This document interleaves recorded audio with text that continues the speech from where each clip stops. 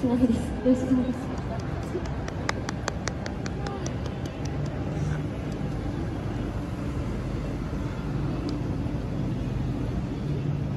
おー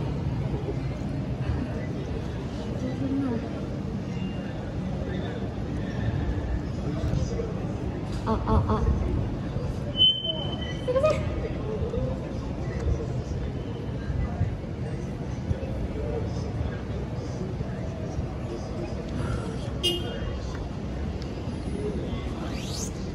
えっとそうですね前の人が結構おしゃべりが上手でおしゃべりお話が上手であの なんでしょう。あまりお話がうまくはないのであのいつもすすきのでやってるような感じの流れでやりやろうかなという感じではいお願いします。年齢は書いてないんですけど今大学生をしてまして医療系の学校で大学に通わせてもらってます。えっと何を喋ろう そうですね。うん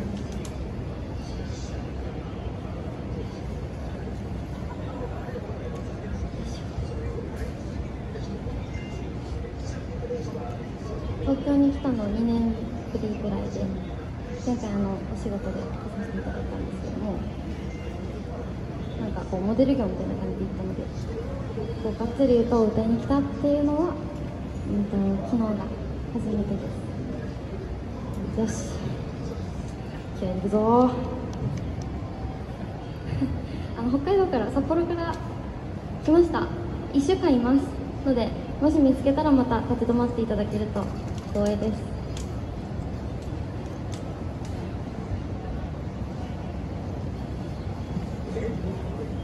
か要望があったら叫んでください。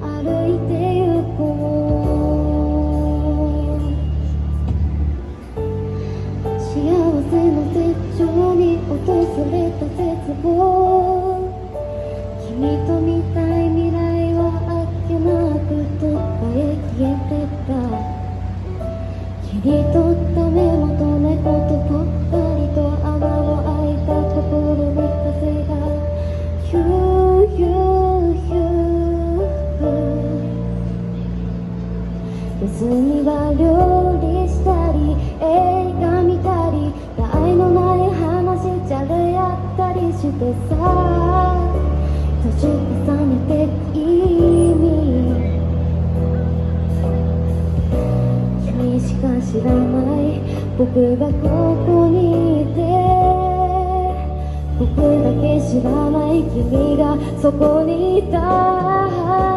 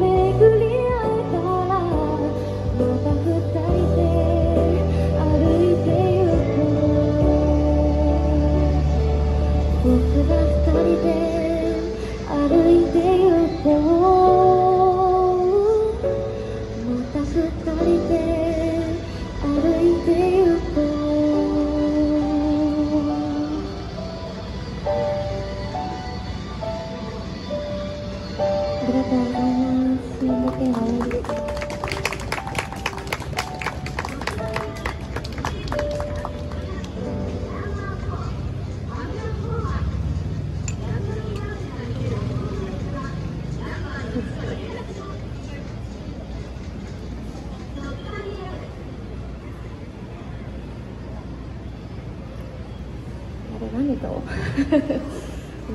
とよいしょ。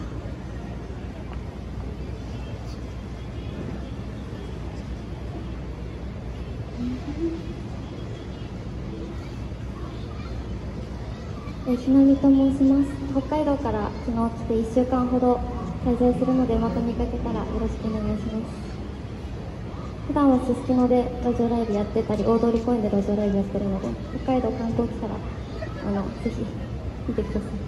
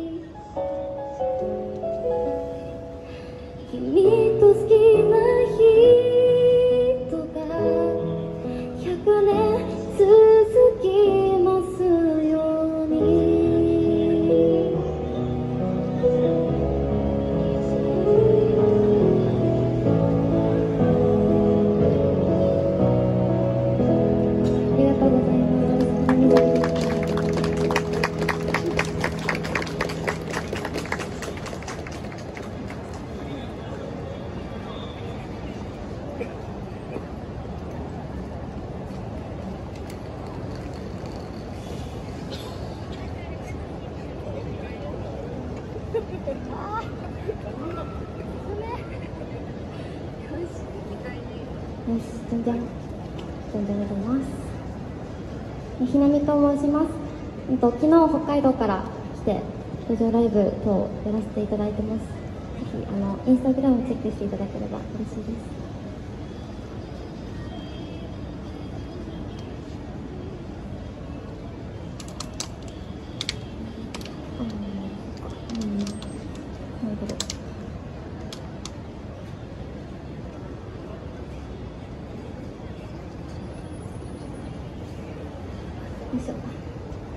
先週ですねあの先週先々先週ぐらいから先々先週ぐらいかにかけてあのなんでしょう先々先週すごい北海道がいきなり寒くなった時があってなんかもう1桁うん急にガーンって下がって寒いみたいになったんですけどその時にちょっと風邪をひいてしまいまして微熱がこう夜続いてで起きたらもう鼻水がダラダラだったんですよ。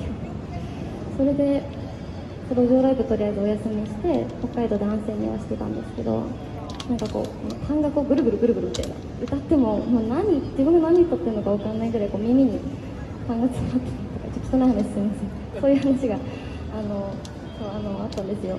でちょっとあの東京間に合うかなとか思いながらあの薬バンバン飲んでたんですけど。間に合いました。拍手。こんなんでいいですか？そうこういう感じでした。はい行きます。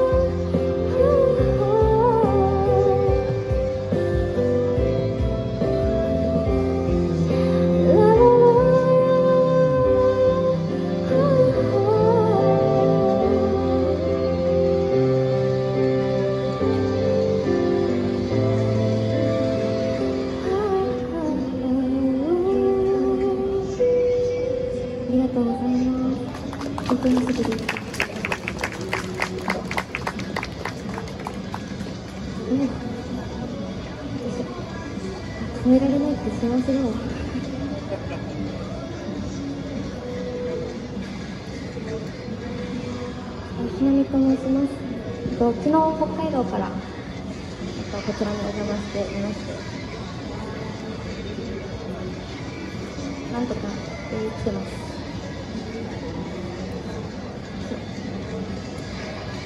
うんなんだろう私は、えっと、今4年生大学4年生なんですけど大学4年生ってほぼ実習ばっかりなんですよ。病院実習とか。なのでバイトしてるとバイト先で変にこう感染ウイルスとかもらった時に患者さんに移してしまうのであのなんだバイトダメなんですよね。で今年の10月までバイトをしてなくってもうお金もなかったんですけどあのすすきのはねちょっとこう太いおじさんがたくさんいらっしゃるので私が路上ライブをしてるとかなりこういいのめちゃみたいな感じで投げ銭をしてくれるんです。でそのお金で私もここに立ててます。すごいありがたい。あ拍手お願いしますよ。おじいちゃんたちに。はいありがとうございます。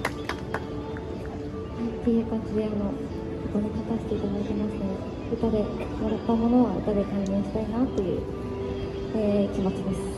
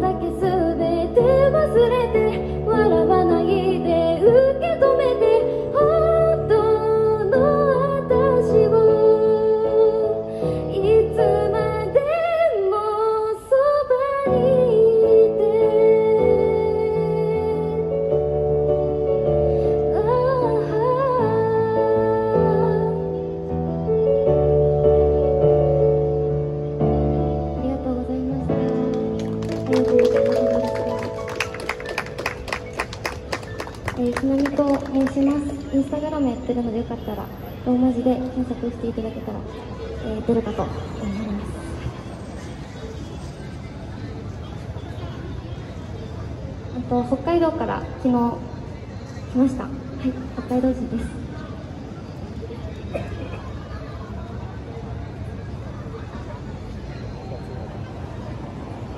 割と多分田舎の方に住んでたんじゃないですかね。8県わかるわかるわかる。あの8県っていうなんか8個しか家が建ってないかったのかな最初。だから8県みたいな名前だった。嘘ついてたらごめんなさいね本当あの調べてちゃんと。分かんないから24件もあって24件建ってたのかなって感じなんですけど。8県という町に住んでました。今はちょっとあのちょっとリッチな方に ちょっとちょっとリッチおかげさまであのお父様の年収が上が上がってるのでリッチに住ませていただいてるんですけど、はい、何人かな5人5人家族です。あの2人弟がいます。小学生と高校生。最近ね高校生の子がめちゃめちゃこうなんですかね人間になってきたので会話がすごいできるようになってあ人間ですよもともとあの なんですかこの理性なんでしょうこう青春みたいな感情を持ってきたのでだからすごく喋ってて楽しいなって感じ。小学生の弟はもうあのもうあのまだまだまだまだですので可愛いなぐらいに言ってるんですけど5人家族です。よいしょ。ふう。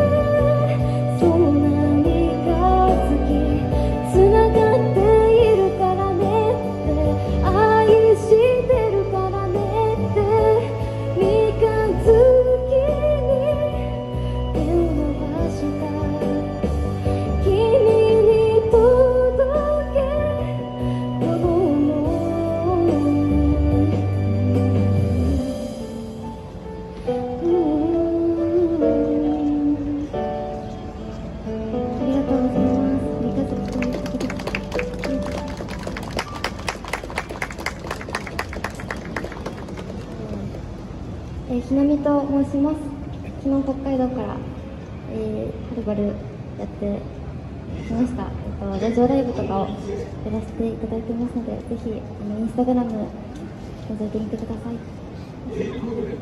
1週間19日まであのいようと思ってるのでもし見かけたらまた立ち止まって聞いてくださると嬉しいです。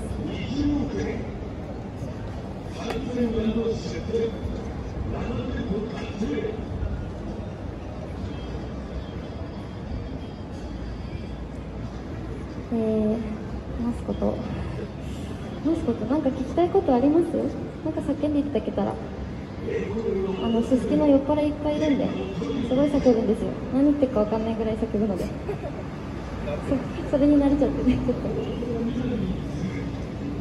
でも東京の人もすごい暖かくて皆さんこうなんかすぐに見てくれるのでとてもなんか考え深いです。今の曲は私が高校3年生の時にカラオケ大会なんか学祭のカラオケ大会みたいなので覚えて歌った曲なんですけどその次にそうですねあのあの曲で私3位だったんですよ。で2位が合唱部の元ポンポンポンっていうオペラの子で 1位がもう星野源にもそっくりな男の方で負けましたね。2位の子とあの選曲がちょっとかぶってたんですよね。三日月その子も歌ってて。なのであの3位までステージで歌えるんですよ。みんなの前で。なのでさすがにちょっと三日月とかかぶるなと思って違う曲を選択したんですけどそれがこちらです。はい。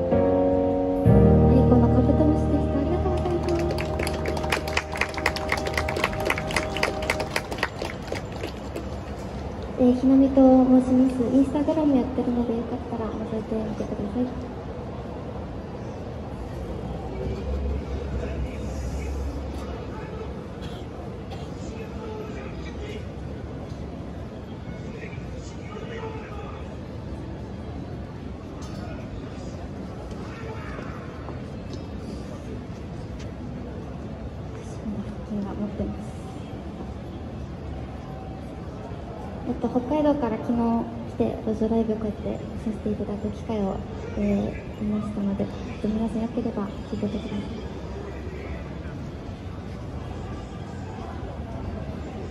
私中学の頃バスケットボールやってたんですけど中学校1年生から3年生までなんですけどあのうち全員バスケやっててお父さんもお母さんも弟2人も今バスケやっててすごいバスケ一家であの北海道ってレバンガっていうチームがあるんです東京だったらアルバルクアルバルクですかねアルバルクマジかっこいいけどあのレバンガもかっこいいんで。レバンガがすごい好きでもう毎週見に行くぐらい本当にチケット毎回取って見に行くぐらい好きなんですけどあのバスケ部に1個上のすごい背の高いかっこいい先輩がいて北海道選抜の方だったんですよ。で私が中学校1年の時に中学校あっちが2年生でもうずっとこうやってもう練習ずっとこうやって目で追いかけたんですよもう。それぐらいそれぐらい憧れてて。で確かその方がもうバスケ引退するってなって福岡第一あのバスケすごい強い高校あるじゃないですか。あそこに推薦もらったのであそこに行くってなって。で、うん、私はもうひたすら泣い泣いてましたね早く送っちゃうよみたいな。感じで泣いててでその時に聴いてた曲です。はい。生の手紙です。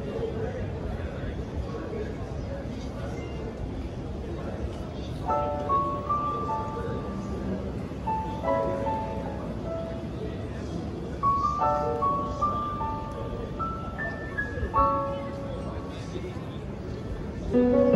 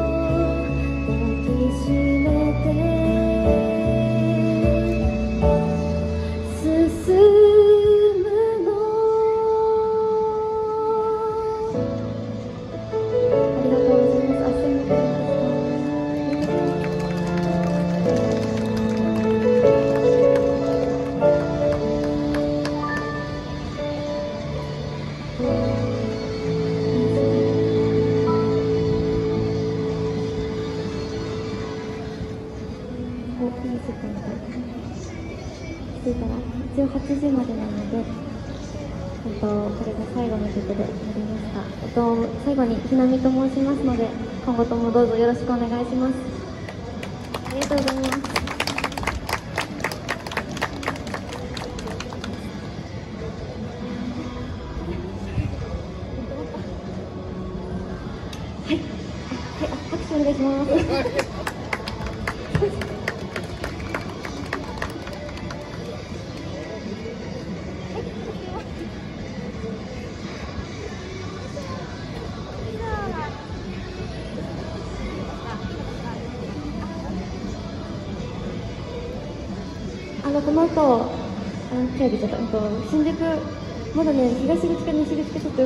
ですけど新宿ぐるぐるして路上ライブしようかなと思ってるのであのよかったら皆さんの覗いてみてください。多分どっかにいると思います。はい。